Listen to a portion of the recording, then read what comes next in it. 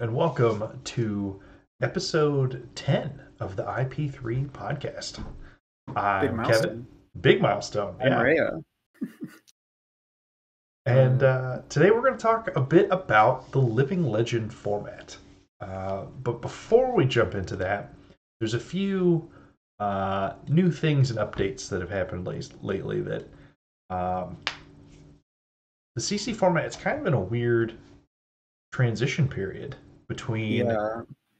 Dromai hitting LL. We're waiting for uh, Mistveil spoilers.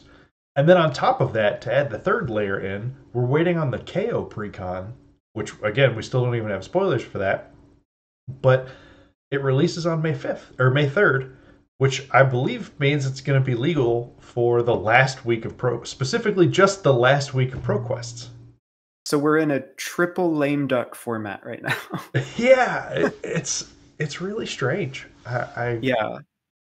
it's kind of uh it's not the singular reason but it's definitely like sapped my my desire to like brew or try and like crack the format in its current state or be like oh Dromai's is gone okay let's let's figure it out let's break it now because it's like it's, Interesting because it's just know, a I'm few like, weeks. ooh, Dromai's gone. Let's just cut our poppers and uh, play the greediest prism you've ever seen, which m- maybe that's a bit too greedy. We've been finding, but it's little definitely just a tempting. little I don't know. I think we're in a brewer's paradise right now because you get to brew decks for these next two weeks of ProQuests, and then KO Precon comes out, and you have to brew a new deck just for that weekend. And then Mysteria comes out, and you have to brew decks for the three new heroes and for all of your old decks to keep up with the Mysteria meta. I, I I'm having a blast. I don't know about you. No, I, I am excited. It's just I so so I think I would be I'd be more excited if I had more spoilers already. I think the fact that Yeah. So we are in this like two week period of like and we also don't know what's going to happen after this two weeks is up Yeah, so we're getting like two spoilers per weekend because there's a battle hardened or calling every weekend until I think until Mysteria comes out, right? Mhm. And so they did the prologue page that shows like, okay, each of these events are gonna get like between two and four spoilers. i think one of them had eight And- but got to assume that yeah, I mean, well, it's just common equipment sets, right? Yeah. Um, I don't know. I like, I liked the weekly trickle. I wish we could see just a little bit more of the marquee cards by this point in the set to like have any idea what we're doing.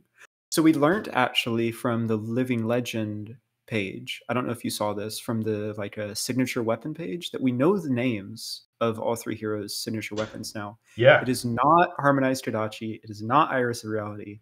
It is not Spider's Bite. That's super exciting. Don't know what they do.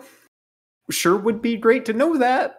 And uh, based on this spoiler sheet, we're not getting three spoilers anytime soon. So I think we're in the dark for a while.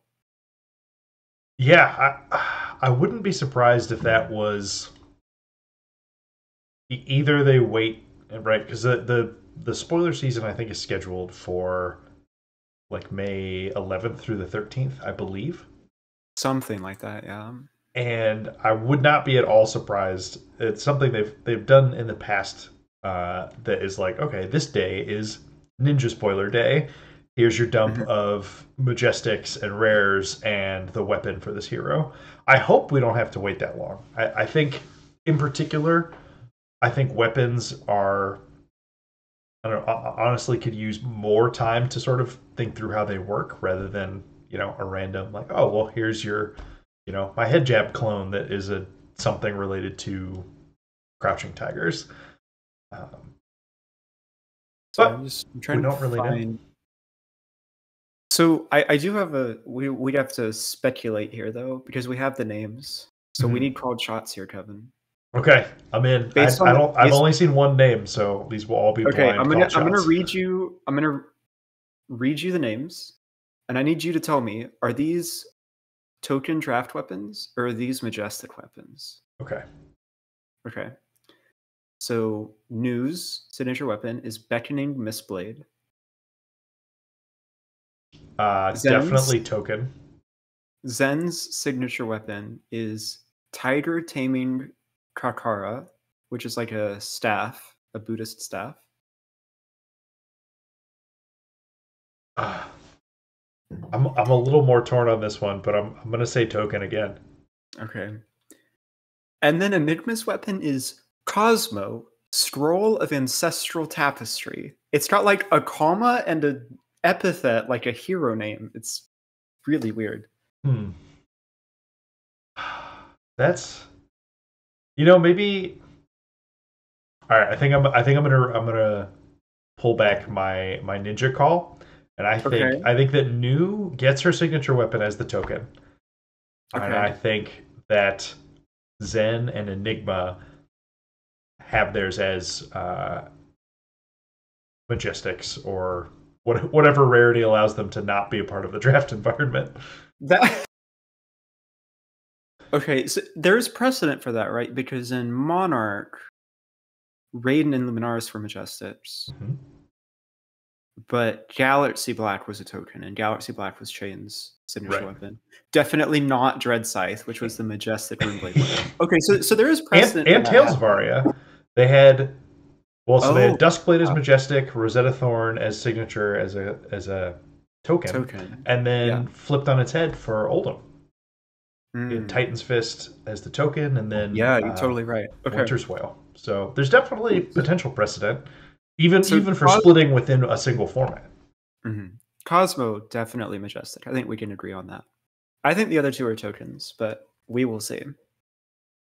Yeah, I guess it it's tough to say because I don't know what we don't have a, a staff. We don't we don't have a ninja staff weapon. Yeah, I was about to say we have wizards. we have staffs. We don't have a physical hero staff weapon in the game to like have any idea of what what being a staff means to a weapon, right? Like I guess we also have illusionist staffs. Yeah. maybe man, how how crazy would it be if Zen Zen's weapon, if that Khakkara doesn't attack. It doesn't attack. It like creates Whoa. creates crouching tigers. Or or something it like modifies something. your tigers. Yeah. Like that would man- be very interesting. just like this modal thing that that, yeah, that like staffs don't do things by themselves in the game. But that might just be wizard and illusionist shenanigans. true. I so my if you if I was pressed, I think my theory across all three of these is that we will see some sort of like normal attack action option, and then an alternative that you can only pay for with chi. The idea being that like you have an alternative outlet if you draw two chi cards late in the game. Oh, that's that makes That's- a lot of that's- sense. That's my theory. I, Don't know if it's true, but that could certainly fit because it's really easy. I mean, even just spitballing ideas about how that could work for Zen. Mhm. If if this staff can't actually attack, but you can pitch to create some quantity of crouching tigers.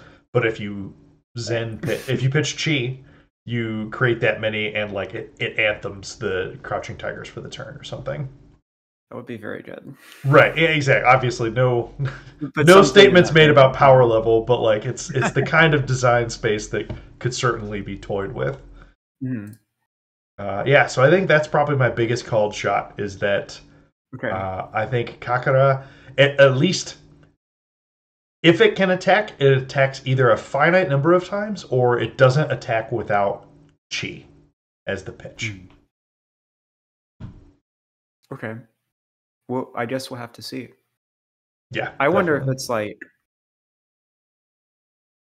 you can attack with it a number of times equal to the crouching tigers you've played this turn, but it's just something derpy. It's like two for one go again, but you can do it multiple times at a turn. I don't know. We'll, Maybe. we'll see. We'll see. Uh, I also I wouldn't be totally shocked if we ended up in a limited environment and they're just like, here's Edge of Autumn, this is your token weapon.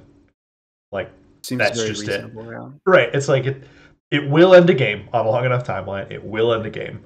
It is not crushing anybody in three turns or, you know, completely locking someone out singularly like Kodachi's have the potential to do.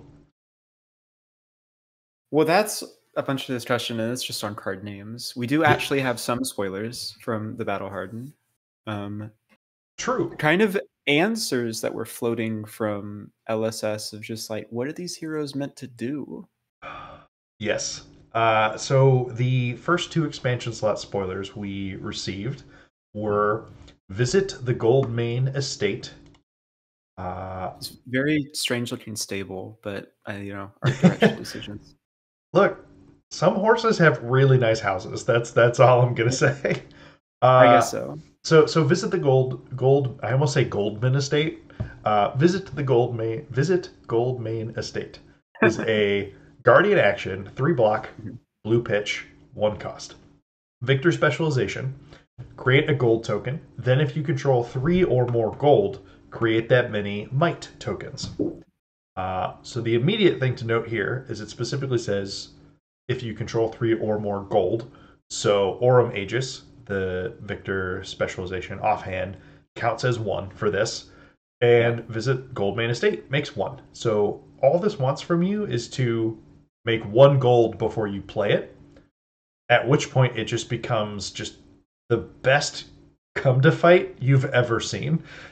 Cantrip to fight. oh, that's that's so much better. That's so much better. You have to wait for it for a turn, but as we've seen with KO and other things, sometimes being able to pass buffs across turns, looking at you agility and might tokens, is occasionally stronger than having to play them out that turn. Uh, right, like you could. I don't know what chest equipment victors tend to run, but I think I think there's a really big division between them on tectonic plating and tunic. The age old guardian dilemma. Yeah, that that makes sense. Uh, but even imagine a situation you're like, okay, I had to, I blocked out with three cards. At some point, I want a test of strength, or I want to clash with uh, the Golden Sun or something. I've got my one extra gold token in play already. Uh, visit the gold. Visit gold. I keep saying visit the. It's not. It's visit Goldmane Estate.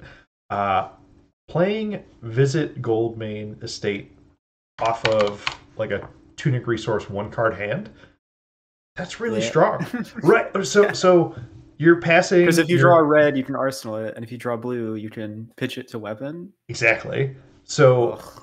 you can you either still get to just bonk with your hammer for four uh, or arsenal a juicy attack you are getting three value out of those might tokens and turns out that card is an action and it is victor's and so you'll draw a card it's a I think I think the most interesting part of the card, honestly, is the fact that it encourages you to clash more so that you can win gold, Mhm. but also it is a clash with.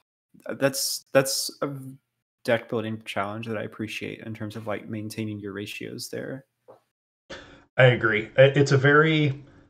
I mean, I, I even thought that when when they were spoiling heavy hitters, and you're looking at both of these guardian heroes, and you're like, okay, these are guardian heroes who the best thing to do isn't, you know, forty blue three blocks that are six powers Mhm. minimum thing. They're they're they're guardians that do rely on synergy. Betsy needs her wagers. Uh, Victor needs gold generation and ideally clashing to do that gold generation. But the, but as with you know Runeblade ratios and other classes that and, and and I mean look at Azalea as well. Uh, those those ratios and the tipping points where it's like, well, at what point is the third visit Goldmane estate worse than another attack that reveals as a seven power for clashes? Because right, and, and that's I can't answer that question. Yeah. neither can I. I don't. I probably nobody can as of yet. Uh, Mhm. but it's these are the kind of questions that I like being asked of us in Fab deck building.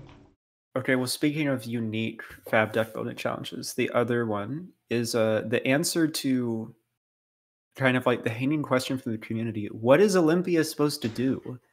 And the answer is you uh, get to double dip on all of your equipment and your weapons if you're bold enough to play parry blades. So his specialization in the expansion slot is a blue warrior action called Visit the Golden Anvil, zero cost, action card, blocks three. Good things so far. Olympia spec, of course. As an additional cost to play this, destroy X gold you control. All right, that's fine because Olympia like sneezes and five gold flies out. The, the deck makes it constantly. equip X weapons and or equipment from your inventory. Which the only time we've ever seen this before is uh Taylor, I think, right? Which is not a CC legal card. Uh, I, the concealed blade Concealed blade does equip is the other. right? Yeah, But it but it that's does, that's one at a time. right. One at a time. just- specifically daggers. Hey, how many gold you got? Bring it bring it all. The- what an absurd card. The ceiling on this card is insane. Uh, Okay, So, so- it, it being So what's the ceiling? the seal? Okay, so the absolute ceiling. Yeah. We'll, we'll just we'll pull out all the stops. Full magical Christmas land ceiling Okay, is I'm ready. is uh you started with like courage of bladehold, Iron Song Mhm. versus Mhm. prized Galea, uh, Mhm. two parry blades, Yes. and And uh, refraction and bolters, refraction right? bolters. Yeah.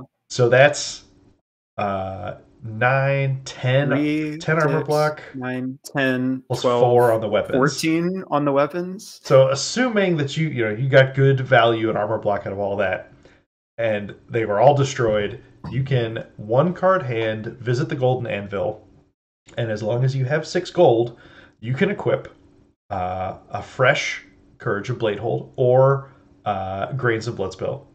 I, I will say by the way, yeah, your your fab boomer is showing because no one plays courage anymore. Grains is way better. But I, so Same I- armor, The, same the, armor. the fact that you can re-equip is the only reason that in my head I'm like, there's there's a world where like running two courage of blade holds and then the third one being a grains could make sense. Ooh, oh my god. Okay.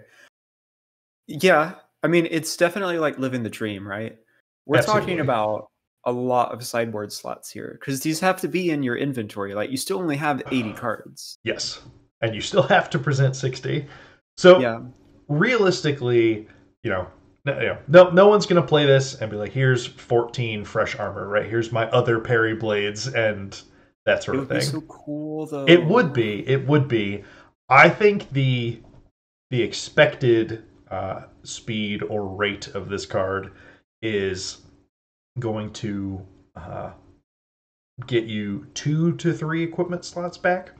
I So don't. huge. I don't think Parry Blade is going to end up being worth it. I think that Oh, so. no. So you can run. You can run hatchets in uh, in Olympia, obviously. Oh yeah. Uh, so so you run hatchets, so you have the good math on your side. I think you just start with dynamo. You don't you don't try and get cute running refraction bolters for that little extra Okay. value. Let me cut you off there because I have a proposal here. There's one issue with this card.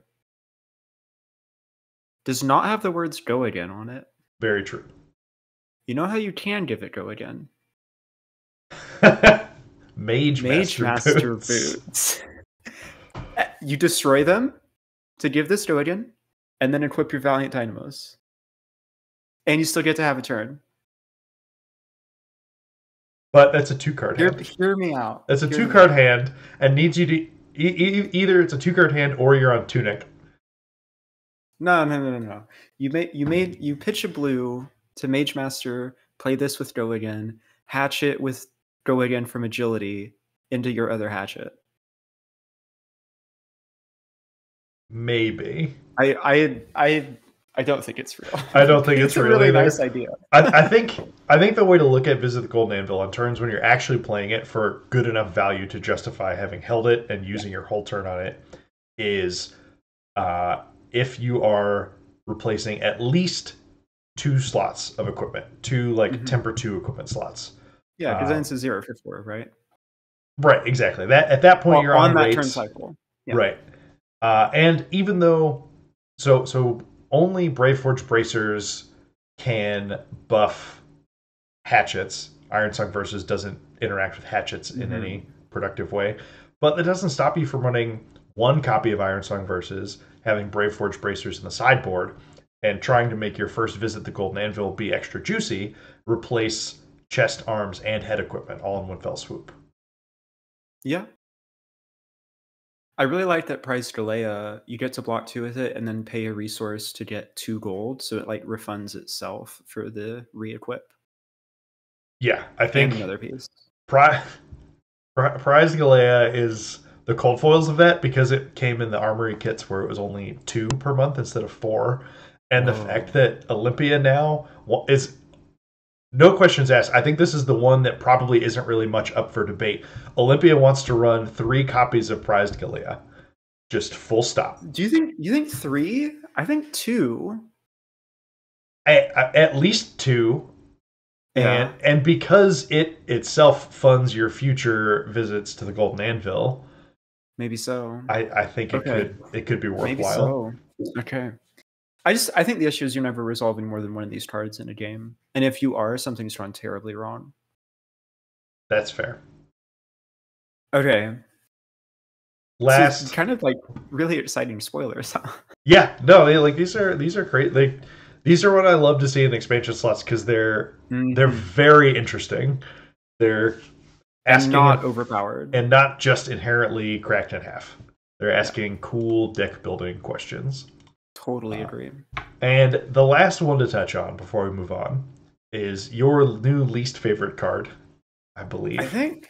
Okay, I, go ahead because I I think this card is incredibly overhyped. Go ahead. Uh, no, I, I think it's I think it is firmly falls in okay territory, but arguably the best new generic popper in Battlefront Bastion, which they revealed to be a promo, the extended art promo from somewhere. I'm not sure, but it is a generic attack action, uh, two block, seven power in red, three cost uh, attack action that says when this defends alone, prevent the next one damage that will be dealt to you this turn. Love a good raging onslaught. It is it is it is a raging onslaught clone. I think that it uh the the the best lens I think to compare it to another existing card is probably Fyendal's Fighting Spirit. Yeah, I, I Uh, think they're very close analogs. They're both poppers that potentially give you some extra value, right? If you Mhm. pop with Fyendal's Fighting Spirit and you're lower, you do still gain your point of life. Uh, Battlefront Bastion is worse on offense because it doesn't give you life gain when you or do anything when you attack with it. But I do think the Battlefront Bastion's defensive mode is pro- probably stronger. Hmm. It's it's just know, different. It's because- it's close, but it's very different. So it, it I- might not be enough stronger to make up for the fact that you don't want to play this on offense ever. I mean, there's like a few cases where it's good, right? It's fine as a popper if they have another attack afterwards, um, or like it. I don't believe it actually stops the merciful arcane ping because you order Bastion trigger to prevent one underneath Phantasm. Phantasm triggers before Bastion resolves. Merciful goes on the stack, deals one arcane. But like it can stop a point of damage from like a second herald afterwards. Um, I, And I think the other. act- oh, sorry. Go ahead. go ahead. I was just Well, I think say actually the the other. most. Nailing it. Go Please ahead. go ahead. I'm not saying it. Go ahead. Okay. So the other cool part with Bastion, Battlefront Bastion is, you know, one of the ways that Prism tries to get around poppers is shrinking their uh, shrinking the power so that they don't actually pop. Mhm. Uh, so if that happens to Battlefront Bastion, even if you defend with, defended with it alone initially, that one prevention is floating. And if it is a seven power herald and you have a sink or a fate or another four yes. four power four defense react that you can add on to it, then at that point Battlefront Bastion was still just a three block for you, and you're still I don't know, getting getting a reasonable card's worth of value out of it. Conversely, in non-phantasm matchups, it's a two block almost all the time, which is pretty icky. True. Um, I so I think actually the most interesting use case for this is that it one card blocks both Kodachis or both Spider's bites. Ooh. I had not I- thought I about think- it from that perspective. I think that actually is like the most interesting part of it. And I think that might be why we're seeing it in Mysteria, presumably. Like we don't know that it's in Mysteria. I imagine it's a rare cycle in the set. Um, yeah, it definitely seems rare power level. yeah. That's that's a really interesting point though, and I that also makes me think that if if Khakkara is a majestic weapon, maybe you know, I mean, maybe maybe it is Kodachi's again, or or I suppose so. even into uh, Edge of Autumn, it's still fine, right? You still all right. I'll block the Edge of Autumn point and pass a point to the next card. Mhm. Um, Who knows? Yeah, we'll we'll we might get out. like Mystic Kodachis, right? They have go again if you have a Mystic card in your pitch zone or something Cool. like that. oh, that sounds really strong. It does sound strong. uh, but also sounds pretty cool. Uh, but that that about does it for new part the Mistveil things. Uh, still Hmm. plenty to speculate on because we still just don't know a ton yet. But uh, it it certainly looks interesting. Um, my my hope is for uh, visit Vincent's torture chamber. That's what I want. That's what I Sure. want. visit Vincent's torture chamber. Look, if we're doing blue block three non-attack actions with people's names on them that are underrepresented heroes, come on. okay. I have no idea what it would do. Don't ask me. I have no clue. It just like makes rune chance or something, right?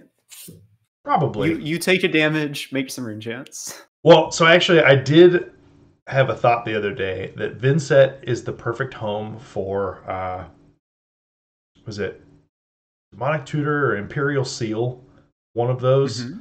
Uh, like a, a- Which which flavor of tutor do you want? Exactly. We're, uh, I think it's the it's it's the obvious home for a pay life get a card effect somehow. I mean, out flavor wise, yeah, absolutely. Just like Imperial Seal. Uh, sorry, we're talking in Magic the Gathering terms. Like, imagine like an action card that cost one without go again, and just said, "You lose two life. Search your deck for an action card and put it on top of your deck."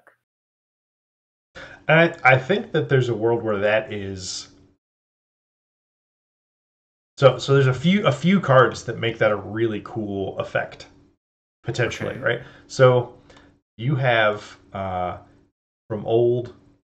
Sorry, this is the, the last last. We'll digress on raw speculation before we get into the main topic. This isn't even speculation. This is just you making custom cards. That's true. That's true. So in the old, uh, was it Dimensional Gateway? It was like uh huh. opt It's like an amount three banish a card. and then reveal the top. You can banish it if it's Mm. Shadow. It pings if it's Rune Blade. Uh, okay. So there's that like sort of top deck manipulation aspect, and then on top of that, in that uh, the pumpkins, the jack o' lanterns uh, card for Vincent. I'm, and I'm not, I'm not saying like pumpkins is is the greatest. It's a neat card. It's okay, but if it's like, oh, okay, well, let me play pay life, get whatever, tutor the card to the top of the deck, and you can pumpkins it and then banish it and know what color it's going to be, so you can make sure you get a rune chant for it. I, It's just I don't know about this. I, I think I'm in deep. I'm desperate. Playable card is I need. I need some, I need something. I need some something. okay. Well, let's let's shelve Vincent. We have a much more interesting Shadow Rune Blade to talk about. That's true. Uh, so, main topic for today's episode is the Living Legend format. Uh, first seen back uh, in November in Worlds in Barcelona. It was the Mhm. inaugural LL Battle Hardened there. Uh, we saw Starvo take eight of eight of the top eight slots there. And and also 15 of the top 16. Something like that. There was, it one was there was one prism in the top 16. It was- it was absurd. yeah, it was not Absolutely absurd. Uh. So wisely, uh, after that, we got our first Living Legend restriction announcement. Uh, nothing is banned in the format, but there are seven cards that are limited to one ups now: Awakening, Channel Lake Frigid, Crippling Crush, Hypothermia, Oaken Old, Starstruck, and Warmonger's Diplomacy. So basically, we have Starvo's three favorite attacks with devastating on hits. Mhm. Uh, we have the just kidding, I'm back in this game button of Awakening. Yep. Uh, and then the three most potent pieces of disruption in the format, at least arguably, three most potent. Uh, in Diplomacy, Hypothermia, and Channel Lake Frigid. Um, Diplo, I can understand because it's just like Yeah. a chain you don't get to play the game button. But Yep. I, I have strong opinions on the other two. I I believe that. Uh, so so with those restrictions, you know, Yeah. we saw those restrictions. People are like, oh, cool. Now maybe it won't just be mono Starvo for the rest of forever, the format. You would think that But we didn't see it for a while. We didn't see the format. Just, just the format didn't exist for a while. I mean, and not, clearly neither of us know anything about the format, right? We haven't played it recently or done well. No, no, no, no. Neither of us. Neither of us has played in both of the Living Legend format battle hardens that have ever existed. I mean that that sentence is half true. Yep. Uh, so I did. I did play at Barcelona. I think I went four and two or four and three on Chane. My losses were to Starvo because, of course, they were. Uh, and then I dropped and got in one of the Sagrada Familia promo events because I was like, ah, let's do this. Much much higher EV. very, very much higher EV. Um, but I played. So I played in the LL Battle Hardened in um, at the recent PT as well, and was fortunate enough to go 7-0 in the Swiss of that one. Uh, and my major takeaway from the event, well, and then classically lost in the top eight immediately after that. 'cause it's, it's real. it's- you it's- can't go undefeated in Swiss. It does. It never ends up. I didn't think about it. I should have just scooped to Brody and been like, fine, whatever. Yep. You take the purse, Brody. Because then Brody and Fung would have had to play in the first round of top eight. Yeah. Actually, there's a weird world where Michael might not have even made it had I Oh, just because the way the breakers were shaking out. Because Huh. I, I think okay. Michael was like the only X2 that made it in or something. But but I digress. Uh, so Yeah, that congratulations, by the way. That's incredible. Thank You're Seven thank and you. zero. You still got it after all these if it felt really good year or two. because I haven't after all these year or two. Yeah. After all this six months since the last time you picked up your Chane deck, uh, which it actually it was that it was six. I hadn't actually played any paper reps of Chane since Barcelona. It's just all muscle memory. Yeah. Well, it turns out I did this a lot uh, back before he was in LL.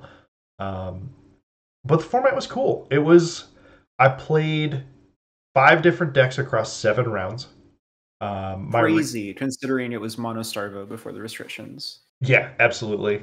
Um, I played what two two Chanes, uh, two Chanes, two Lexis, uh, uh, Prism, Kano, and Fai in my seven rounds of Swiss. And then in the top eight, it was a rematch into Michael Fung.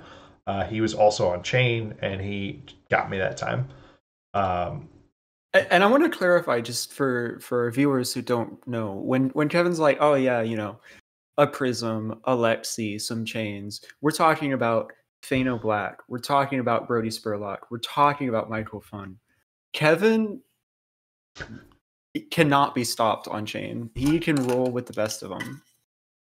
I need busted Runeblades to carry me to tournament success. That's the only thing that continuing to play Chane has taught me is that Hmm. it's it's really truly the heart of the cards of Urser.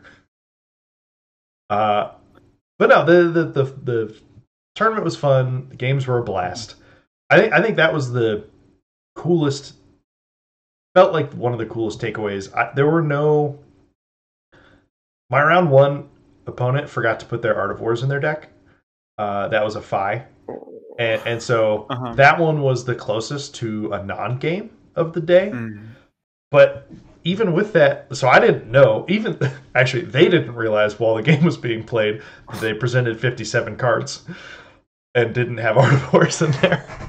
I mean, Uh, I, I think I'm okay with my opponent playing 57 if they want to not play hard. kind of, kind of where my head was at. Uh, so we, yeah, we didn't realize until after it was done uh, that those were missing. But it made more sense why he never saw them during our game. yeah, that's true. Uh, but there were no, you know, like obviously chains a very potentially a very aggressive deck, so those games can end in you know four to five turns. But like on th- those, even the games that are like, oh, okay, this was a five or six turn game, uh, and by five or six turn, I mean each player having five to six turns, not like a 5 to Mhm. six total. Uh, the turns are interesting, and the the the things everyone the questions everyone's asking are very real and you know Fai, Fai got some new juice recently which is is pretty powerful uh Viserai is always a terrifying deck to play against Kano Skeleton, baby. Right Skeleton in the format Kano can just combo anyone at any time and so he, he's just an ever ever present presence in that metagame even though you know th- there's no banned Kano card that's like oh yeah and he's way stronger here it's like nope he's still just really good here And my my favorite part, Uh, real Luminaris. real Luminaris, which is still a hell of a drug. Uh, OG Prism is uh, still solid. I've probably still worst matchup is Chane if I had to guess. Oh yeah, oh yeah. Which is a problem because I think Chane is just the best deck in the format, right? Whereas like the clear front runner. I think so, right? So, so obviously it's not anywhere near the degree of no restriction Starvo, but Yeah, it was it was four of the top eight. okay. I, I thought it was three. Four is four is a little high. Right, but it's possible for a format, and I, I'm and I'm not saying this is the case here, but you can have perfectly healthy formats where oh, this weekend four of this deck happen to make top eight. Oh, oh, oh, let me be clear. I, I think four of top eight is fine in terms of like format health. It's not good for Prism. Oh, that's okay. Okay, that makes a lot more sense. I'm incredibly biased, Kevin. You you have to know this. just just a little, but it's okay. Uh, I think honestly, the the interesting, the most interesting difference between this battle hardened and the last, obviously, aside from Starvo's power level being very much reined in, uh, is that Lexi was an extremely popular pick for the weekend. Mm. Uh, it's Okay. what Brody Spurlock was on, uh, and there were others. I played uh, Mercy. I played Mercy in Mhm. round two. She was also on Lexi. Yeah, Uh, Mercy and Easton were both playing Lexi. Um, I think, I think the other Ascent members were split between Lexi and Starvo. No, Chane. Sorry. Hmm. Yeah, that makes sense. I think I think Brian was maybe on Chane also. Uh, Brian was playing Lexi. Oh, They, okay. the, the, they're all they're Ranger fiends. fair, Love fair. frostbites and Look, arrows. Three of Kind is still really busted in that format. It's Um, three carrion husks. Yeah. Uh, well, so they actually the other interested the the it's not even that surprising. I wasn't the only one who did it, but Balance of Justice in that format is a Oh, yeah. phenomenal card. Mhm. Uh, Chane is super just- spoiled and gets to run Ebonfold into Wizards, but that card has text into Wizards if you don't have a good AB option there. I mean, yeah, let, let's do the rundown because it's Tome of Aetherwind for Kano and Tome of Fyendel. hmm It's Art of War versus Chane. And It's Fai. Hmm? And, and Fai. Fai. Yeah. Uh, if Phoenix form if it's doing really poorly versus Fai. um, Herald of Erudition versus Prism. Three of a Kind versus Lexi. Like the only deck it's not relevant against is Starvo, who strangely only draws one card every turn And and is not Viserai. quite greedy enough. Viserai doesn't technically draw cards. Oh, you don't, you don't, you're not seeing Viserai's Tome of the Arknight into my opponent's Balance of Justice. I did that one time, got me a battle hardened top four, and uh, then I promptly got drop kicked out of Worlds. So we don't register Tome of the Arknight anymore. That's fair. I, yeah, not big on high rolls myself either. yeah, I- it-. It just works versus like everything though. hmm But but I think the the diversity that we saw at that battle hardened was pretty cool. Uh, obviously, so Chane was four four times in the top eight. Then there was also um, sorry, I've got it over here two two Lexis, a Kano, and a Viserai, Yep. which sounds Okay. pretty reasonable. Um, There were Starvos. I think there there were Starvos in the top sixteen. Uh, I think the the big update there is you know you lose a bunch of your power attacks, but they printed concuss, which is I- obviously it's no Oaken Old, but it's still a real card Yeah, with real I text. I was about to say because I heard a lot of dooming about how like oh they restricted all of Starvo's power cards and then they printed concuss and command respect so he's still just as bad as ever. So I was really happy to see that like he's at an appropriate power level despite those cards. Tristan Grass is really strong when it's Starvo fused. Don't get me wrong. Yeah, I mean, so yeah, fuse fuse into concuss with go again into a frosty four with Winter's Wail, right? Like that's sort of the what what you're looking for there. But that's not a. There are turns you can look at that and be like, yeah, hit me. I'll give you a card. I'll take twelve. I'll get a frostbite, and then I'll still come back and Lexi three of a kind things or Mhm. you know chain power turn things. It's not. It's not the same level of devastating of like fused dominated Oaken Old with Go again into Frosty 4. Like it's it's just a For sure, for sure. order of magnitude more fair, I guess. Okay. Yep, I'll buy that. It, it's not an order of magnitude numerically, but in terms of fairness, we, we can define fairness as like a non-linear. Only the best of science here. Uh but yeah, so the, the, the format seemed cool. That like there's Cool. plenty plenty of decks that I wouldn't be surprised to run into, which like I I can't help but notice there's one hero that we didn't we didn't say the name of. Iyslander was in the Battle Hardened top 16 and I believe was in top 8 contention up to up to round 7. That warms my cold frozen heart to hear that. but, but yeah, so so I do think Chane's probably the best deck in the format right now. Uh Lexi has pretty good game into Chain and into most other things. Uh probably a little I, I think Lexi like ha- has a winnable Chane matchup, but probably also struggles into Prism. yeah, that matchup is weird. I think generally it's considered Prism favored. I've heard some Lexis saying they've cracked it, which I could believe, but I haven't seen it yet. That's fair, and I think that's something we're just going to continue to see more of. Is Prism and Lexi, while they technically coexisted in a format, right? Like Lexi was probably the fourth I mean, most popular kind PT1 deck, but not Lexi in its iteration that got it LL'd.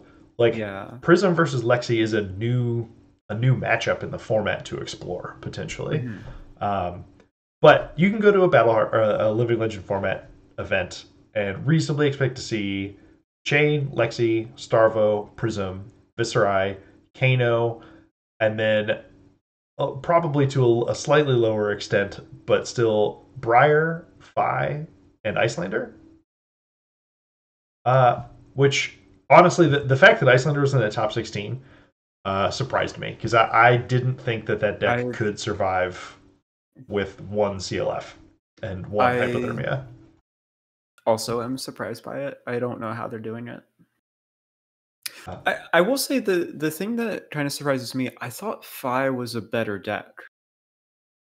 I I guess like Frosty Four and Ice Lexi is keeping him down, but there's so many Fai hands where like you go first, turn zero you arsenal a card, and then your turn one is like 43 damage. Yeah, I, the deck is still completely capable of doing that. However, in the LL format, I think we've got like th- think about the amount of disruption coming out of both Lexi and Starvo, Yeah. and even I ran Cryptic Crossing and Command and Conquer in my Chane deck as my sort of like early on value attacks. Cryptic Crossing, now that's a deep cut. Cryptic Crossing is sweet. And one Uh-huh. of my big moments of pride from this battle hardened was Michael Michael Fung grabbing that card, reading it, and be like, "Oh man, you broke. You deserve to win this game. that card's crazy." It's like pummel snatch on hit if you pitch a non-attack and an attack. hmm And Yeah. with with Chane ability and just Rosetta Thorn costing one, even when it's not not good numeric value, right? You don't want to pitch two cards to play one. If you pitch a red that you want later and then a blue into Cryptic Crossing with Go again and follow up with Rosetta Thorn, that was a three card eight with a pummel snatch on hit effect. but like in it there. has to be blocked. Yeah. Yeah. um, Okay. it's it, it's pretty cool, but th- I think there's Okay. enough enough disruption at this point that, um, yeah, he he struggles to pull off the 40 damage turn consistently enough into the other decks in the format. Um, the two the two LL heroes that I think are still going to continue to struggle that you know you can't play in CC anymore. I think Oldhim. There's not really a compelling reason to play Oldhim over Starvo I- at the moment. God, I, I just wish they would ban Starvo. I just wish they would admit that hero was a mistake.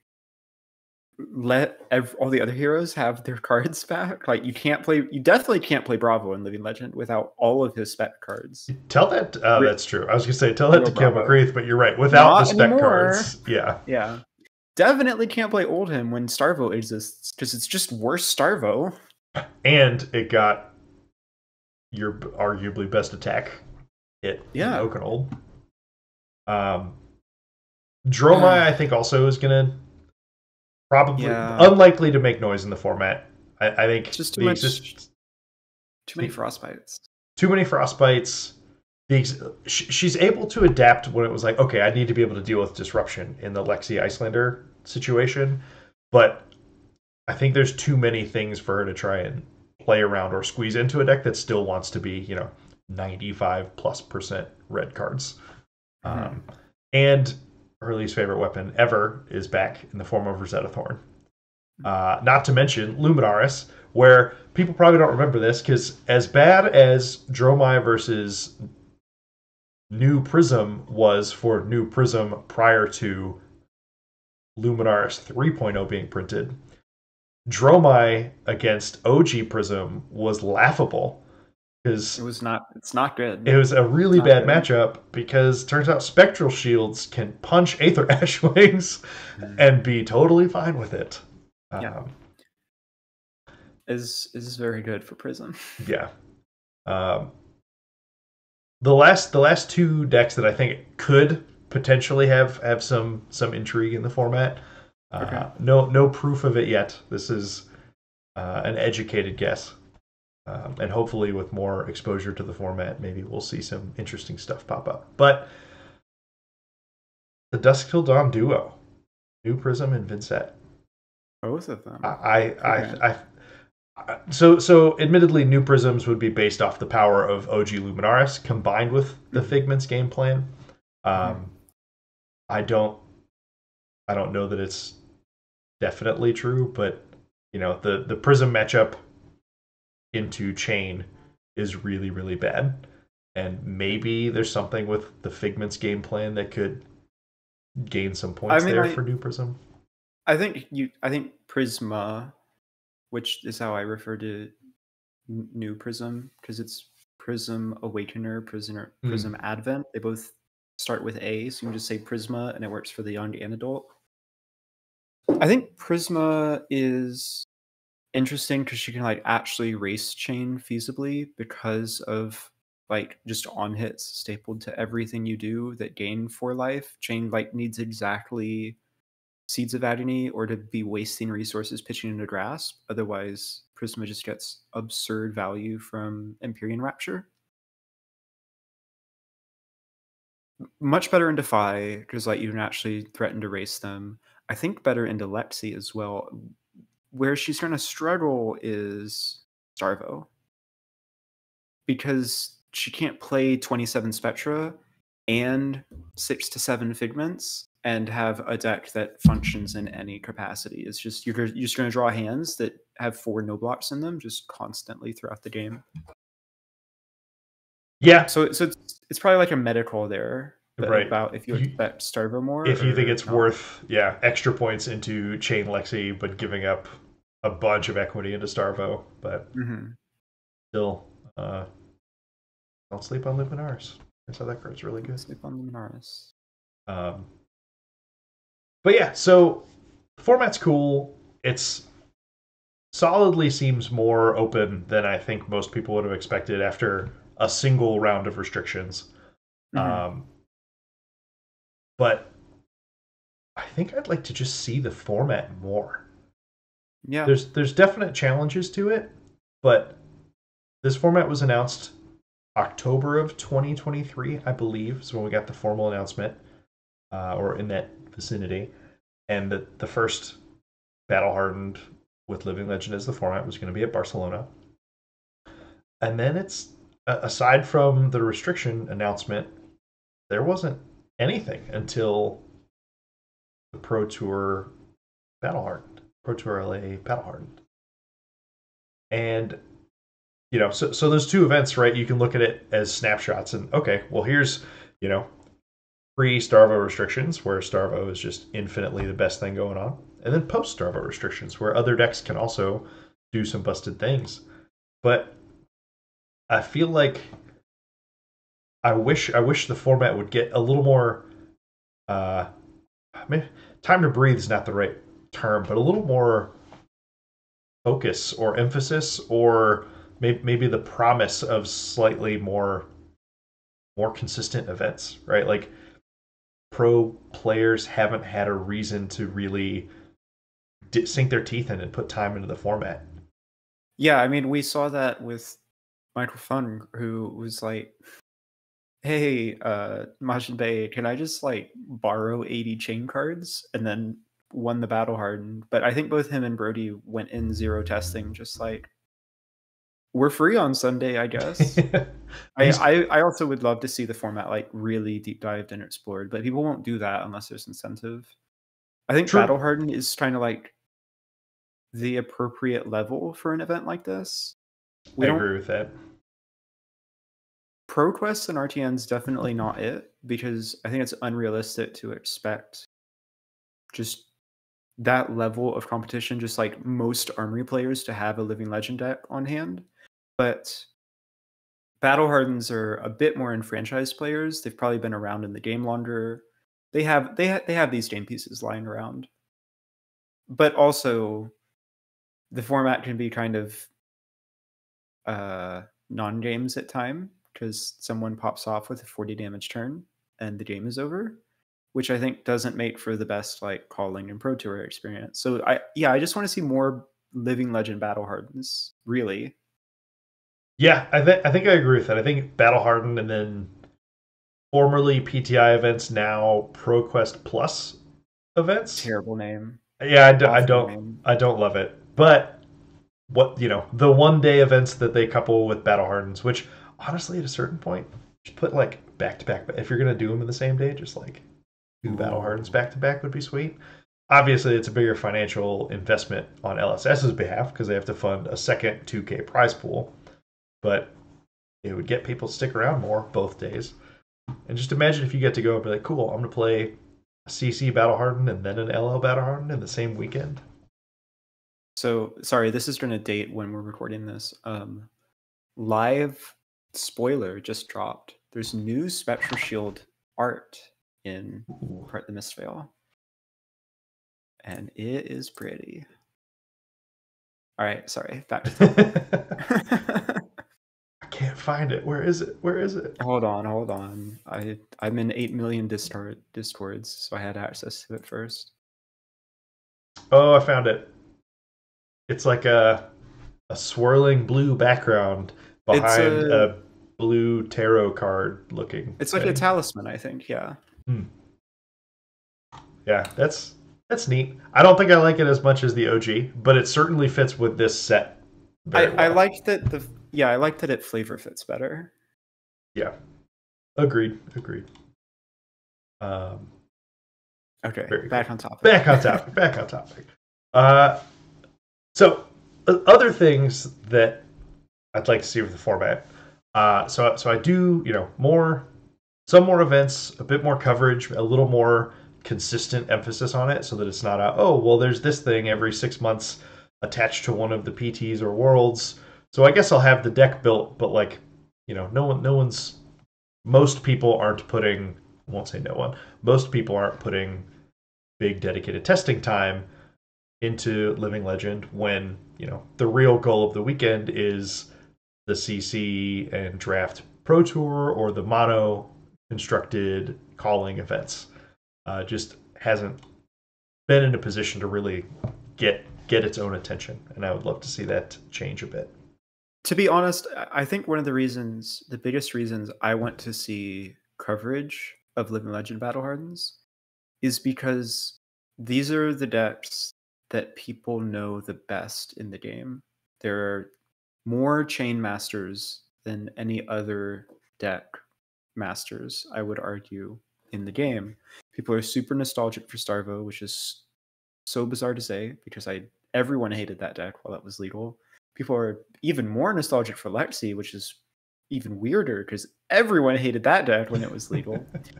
I, it just feels like a slam dunk to like show this to people like, hey, look, th- this is all the cool stuff, remember? And look at how good at it these people are. It, it, I think it would be immensely popular to watch as a viewer. Yeah, I agree. The, the the potential on watching this format is super high. And you're right, there are some games that you're like, all right, this was kind of a non-game. But that's what, what the backup match is for. Right. Well, and you look at you know, the the easy other game analog is the legacy or vintage Magic the Gathering formats that are these are all the cards forever and they're legal. You can do the most busted things here. And people still love that format, right? Like mm-hmm okay, cool. I'm a I'm a lands player, and this person just sneak and showed an Emrakul and killed me on turn two. Sometimes it happens. That's just part of the game. You have bad matchups. To our non-magic fab viewers, I'm very sorry because all of those words were real words, but I'm sure they I made no sense to you. Mostly understood what was just said. uh, but you know, non-games, while they generally happen to a slightly lesser extent in the CC format. They still happen. It's just it's part of the game. Uh, but I don't I don't feel like they're especially with Starvo toned down. I don't feel like they are quite as non-gamey as some mm-hmm. people seem to think. Um, I do think there are a couple potential changes that I'd maybe like to see. Uh, so obviously, okay. the sample size of one subsequent event isn't huge. And no, no, no, no, no, You are the premier, like, leading expert in the world on Living Legend. yeah. Which, like, I, I say that as a joke, but like, it's probably not that far off. That's fair. I have written a couple articles on it and played in the two events of it that there have been, but and done well. Yeah. Uh, I think there's probably a reasonable argument to restrict Art of War in the format. Love it. Uh, I think it's sort of the value is twofold. It keeps with the we'd really like to not actually have to ban cards here, which obviously mm-hmm. with restricting seven things instead of banning anything seems to be something that they want to strive for for LL.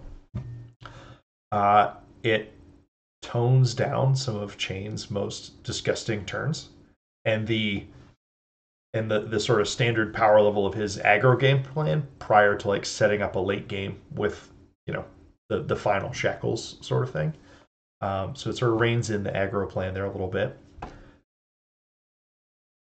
I mean, if if it's restricted, I think on average he doesn't even draw it in a game. It's more likely he banishes it, right?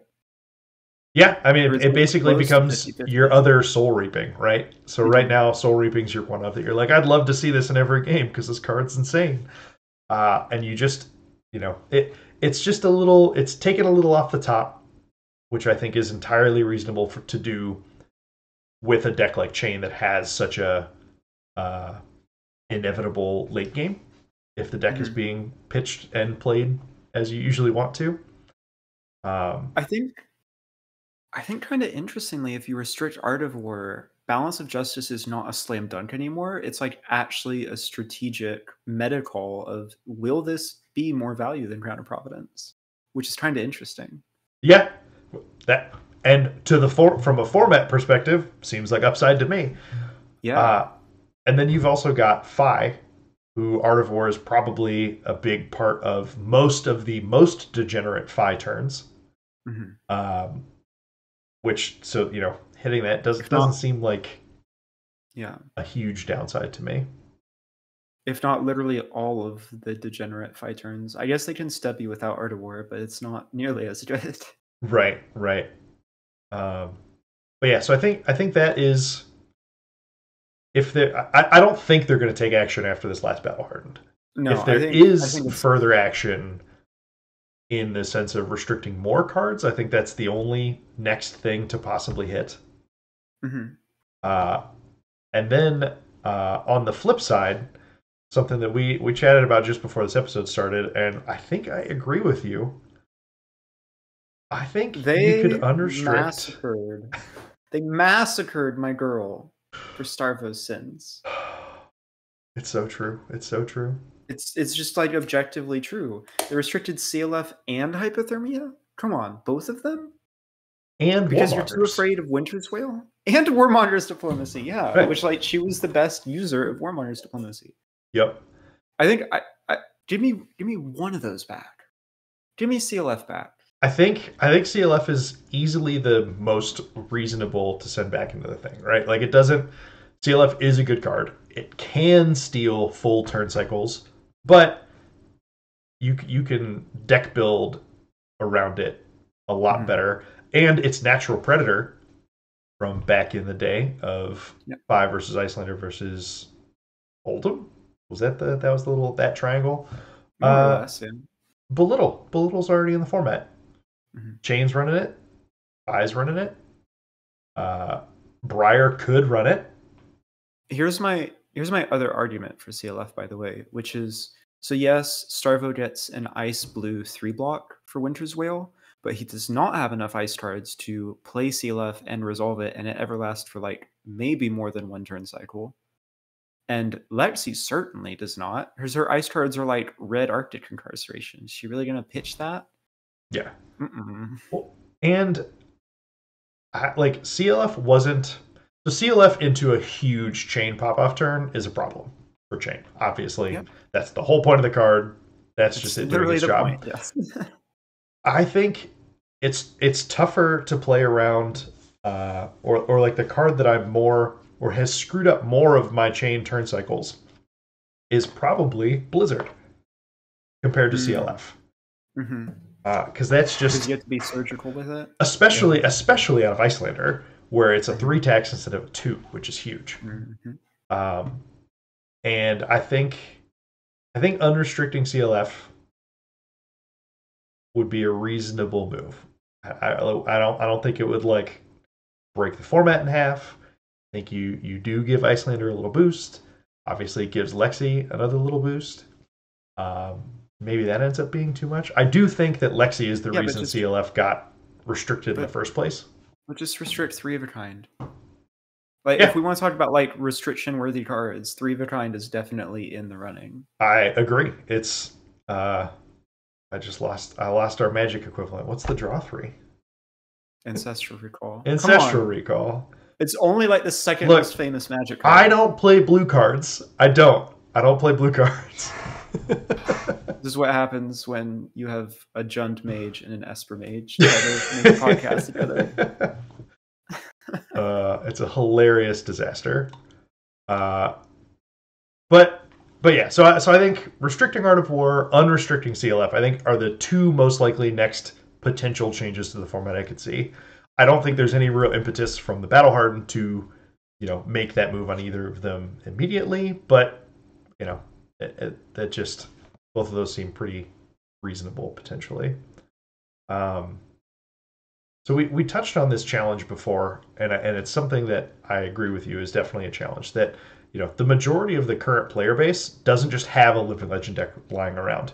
Most I- of the current player I don't base, yeah, most of the current player base wasn't playing during PT one. I would wager, like the actual just brunt of the current active players. Mhm. Um, you know, so those aren't just laying around, and it's a tougher sell to get people to want to build that for a format that sees relatively little action, right? If you want to That- play an obscure format, you can play Commoner. You can play our commons and rares melee format that we've talked about a little bit. You can go and play Clash, which is sort of somewhere in between Commoner and uh, melee. Like they're they're UPF. You can homebrew PVE things. Like there's plenty of options to do for off the beaten path gameplay. Um, that was that honestly was my issue with it. When i was prepping for la i was like okay i got my deck locked in for the pro tour obviously. Same deck for the calling. Am i really going to sit here for two hours and figure out a list for a battle hardened with the format that who knows when i'll play it again next time and dig out all these cards? And i convinced myself to it like i these are probably enough to turn Prism into a living legend deck. but I don't know. It's it would just be thrown together. Okay, this looks like the analog of my old list, plus a handful of very obvious yeah. upgrades or additions, right? Phantasmal symbiosis and you know a, a, a smattering of other things, but yeah, there's just there isn't without that consistent source of competitive or casual play. Mhm. It's just it's tough to want people to do it, which it's like the Ouroboros, right? If people don't want to do it, it's tough to justify putting the competitive stuff in place. But like you sort of got to give a little to get a little. Uh, but I think I think there is a solution here. I think I, there's actually two really interesting ideas to all right. invigorate the LL format. Sell me on them. I got investor money to throw at you. okay, so the first one is just taking an idea that they've already implemented for CC and doing it for Living Legend as well. Living Legend precon decks. Okay. The decks the decks build themselves. It's really easy. So so so I think I think the marketing's probably easy. And your first three that you should just release all at the same time, they practically build themselves. They are mm-hmm. the game's marquee, like OG overpowered heroes in Starvo, Chane, and Prism. Yeah. Uh you could you could make these How do precons. you- oh, How do you reprint equity these? Is it like white border ugly cards? So that people don't get upset that like they're I don't know. um I think- some stupid majestic is getting reprinted. That's a good question, and one that it's really just up to LSS to answer, right? Like they could Mhm. they could make them white border and cheap. They could make them black border and juice to the gills, but correspondingly a bit more expensive, right? Like these aren't Mhm. going to be your forty dollar KO precon. Um, they could use this as an opportunity to print some other neat new options for those, uh, you know, class and um, talent combinations. Mhm.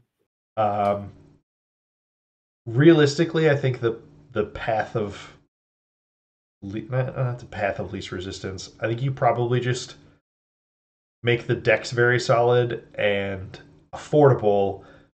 Put a few new intriguing pieces of equipment that aren't going to break the New format, but end up as cool. They could end up as cool sideboard slots, right? Kind of like Okay. Savage Sash, like how they're doing for the KO precon. Um, so I, I think they can sort of split the difference, right? Mhm. Chane can have Snapdragon scalers, and you can run that card, and you don't have to feel embarrassed about it. You ran that for years prior to Creepers being printed, and there are still Yeah, I- games I where guess- scalers This chain's better. actually really easy to do because it's just like snaps, Aether Ironweave, Vexing Quill Hand, Ebonfold, and it's like there's no Yeah. fridge there, but all of those are very reasonable to play in Chane individually. What's what's stopping them from giving me a reprint of non-foil regular old black border Skeletor instead of Oh yeah, no, yeah, great- like there's great point. yeah. Yeah, plenty plenty of, of neat options for you know Okay, potential reprints okay. there. you're you're selling me here. And, and I think you know these are probably decks that end up being in the sixty to seventy five dollar range versus KO being a forty dollar precon. But Yeah, Look- I, I I think I would do that. I own zero Chane cards. If you gave me like a Chane sixty and then like you know not the perfect equipment suite, but a good enough one, I think I would buy that for seventy bucks and just be like, all right, I just slot in my legendaries and I'm good to go. yeah, so I, I think that would be huge, right? And it, and it's easy to sort of you could tie tie this in with some other efforts to like get some more eyes and attention on the Mhm. format. Announce your first ever Living Legend calling. Put that somewhere. Uh, maybe it's it's tough. It, it's definitely a tough sell because there's definitely a bigger risk to an LL calling compared to a battle hardened at Yeah. PT weekend when you know the calling's already going to get plenty of attention. Mhm. Um, but but hype it up and put the emphasis on making it accessible. If you get these precons, you are you know. 80% of the way to having a deck that you can bring here and just feel entirely confident about playing it into this LL field. Um, and and so you you release LL precons. Maybe you do a skirmish season that has LL as one of the formats potentially, along with these precon releases. Yeah, And then- I can see that. and then a few weeks after that LL skirmish season, you're like, hey, first ever LL calling. Come on, who wants to cast some Seeds of Agony? Uh, uh, so, so I think it's a something that would take a concerted push from multiple angles, but it seem it definitely seems doable.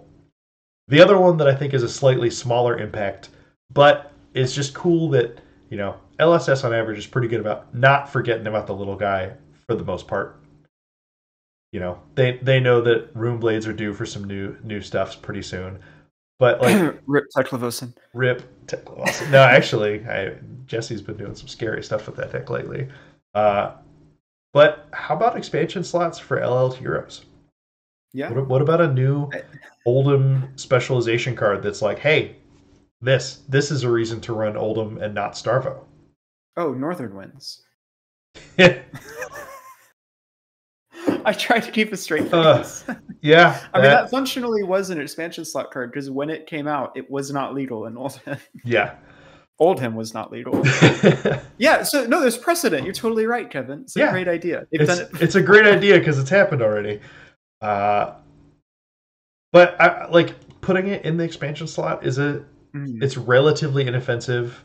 It's a way to balance right. So they don't necessarily want every expansion slot to be pinnacle of playability, but it's a way to put a card that's play very playable but still niche because it's okay. You know the same way these new visit the X Y Z locations are. It's like well Mhm. if I don't play Victor, I don't really want this. If I don't play Olympia, I don't want this. If I'm not playing uh, Oldhim in Living Legend, I don't really want this. But some people want to play Oldhim in Living Legend, and you know, giving giving some some bumps to some retired heroes that you know could use it in the format seems uh, like a bit of I a free like- roll. I liked the idea. I think that the expectation of what the expansion slot is is kind of solidified at this point. I think if you did this, it would need to be in almost a separate card slot, like in addition to expansion slot. Still like physically in the token slot, but you probably don't want this replacing one of your two expansion slot cards in your booster box because it's a much less likely chance that you play this LL hero compared to uh, you know, an Evo Magneto or whatever. It's an awful example. A visit Right. Golden Anvil. Fair, fair. It well, and there's there's a couple like levers to be turned there, right? It could be short printed within the expansion slot, at least in the non-foil Yeah, that's true. versions, Mhm. um, or you know maybe maybe they are at some point. They're like, hey, we know eventually we're going to want to bring Oldhim back to CC instead of LO. Like, if you print something and you're like, hey, this is the design that is cool. It seems reasonable for constructed. We'd have a hard time ever printing it in a set where you could play this in a limited format. Like, there's, it's just a, an extra Oh, avenue for that. The the storytelling opportunity there is actually really cool. Because like imagine if Viserai imagine if Viserai had LL'd with Skeletor. And then we get this expansion slot card that's like the quest the vast beyond. And we're like, what's going on with this Viserai expansion specialization?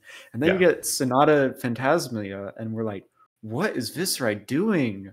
And then he comes back in the next set, and it's like, oh my god, okay. I, I'm I just sold myself just on for like the the flavor reasons alone. I'm so in. It's a cool, it's it's a cool idea, and the the sky is the sky is the limit for what they how, Okay. how deep they I- want to I- go. I think this is a to really, take advantage really- of it.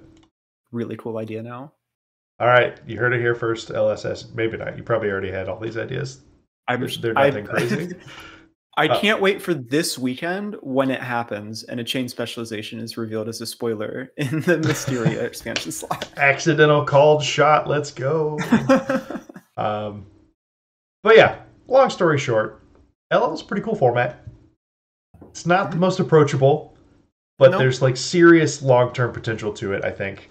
Uh, I think it just it, it needs some specific attention in TLC uh, from LSS from a competitive play standpoint to you know to get eyes on it and to get it to where where I assume they want it to be long term, which is eventually the you know the eternal format of Flesh and Blood. Yeah. Um, we're not quite there yet, but I think we're on our way.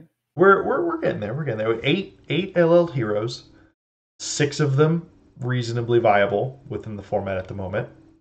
Um, and I don't know. I, I think it's going to be interesting the next time we v- revisit some of these classes that are inherently powerful, Mhm. uh, like Runeblade, maybe even Enigma, right? And see. Oh, I guess may, maybe a little less so with Illusionist because it's so much of what makes them good in this format is Luminaris. Um, I did I show you by the way, um, and th- this is kind of a throwback because I promise this card is actually playable in Living Legend, even though people think it's a joke. But uh, speaking of Enigma, sorry, we said we said the name, so I got to show off the new fancy Cinedark code foil. I promise this card is playable. Diadem of Dream State. Ponder tokens are broken. It's like unironically good in Prism and Living Legend. No, I'm not joking. I'm gonna have to chew on that one or pick your brain Okay. about it later. That that that's one that we can leave our audience thinking about until next time as well. I promise that card is good. ponders ponders are pretty strong. Uh, all right, well that's enough of this living legend ramble and discussion. Um, I, I had just I was getting ready to start my thesis on why 27 Spectre are the best thing you can be doing in the format. I mean, it's the best thing you can be doing in the format if you want to lose to Chane every time. Okay, well, all right, Mr. Time Snap Potion. Hey. Gotcha. All right. Well, as always, thanks for hanging out. If you enjoyed this episode, like, follow, subscribe, all the fun stuff.